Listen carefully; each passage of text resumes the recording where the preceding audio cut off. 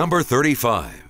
We've attracted incredible talent. We are uh, better than we've ever been in terms of talent, and we've worked hard to build some solutions, some intuitive solutions for our clients that we, our sales team has never had in the past. So, you know, being in business for 10 years and having some success and never really having a bona fide competitive advantage outside of relationships, constantly selling on price, uh, I think when we bring this solution that we're, we're building right now to the market, we're gonna, I think the best, uh, the, uh, the best growth potential is still ahead of us, which is exciting.